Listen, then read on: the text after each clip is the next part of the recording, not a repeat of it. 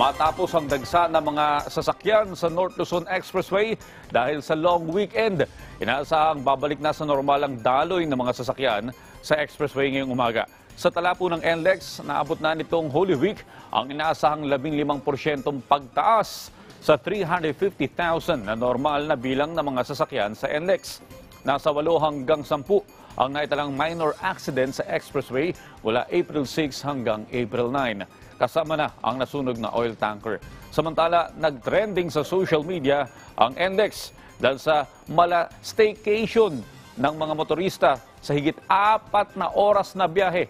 Nagbabala naman ang pamunuan ng NLEX sa mga lumalabas ng sasakyan at nagpapapicture kapag mabigat ang trapiko sa expressway.